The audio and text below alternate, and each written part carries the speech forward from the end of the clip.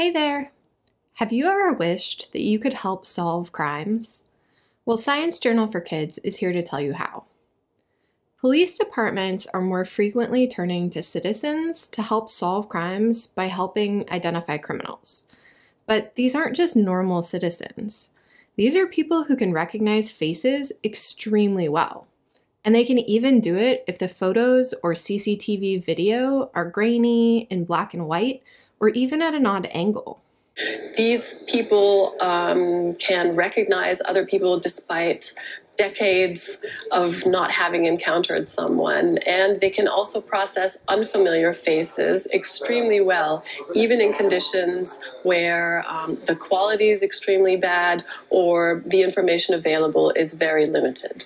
New research even shows that these types of people, who we call super recognizers, can actually help identify criminals much better than the average person. So now, the question is, are you a super recognizer? There are lots of tests you can take to find out. Most of them have you look at a face and then try and identify the same face out of a selection. I gotta say, it was a lot harder than I thought it would be. So yeah, I'm not a super recognizer, and the majority of people aren't, but you never know until you try. You can even participate in ongoing research if you want. Check out the link in the description for one of the tests recommended by researchers and find out if you're a super recognizer.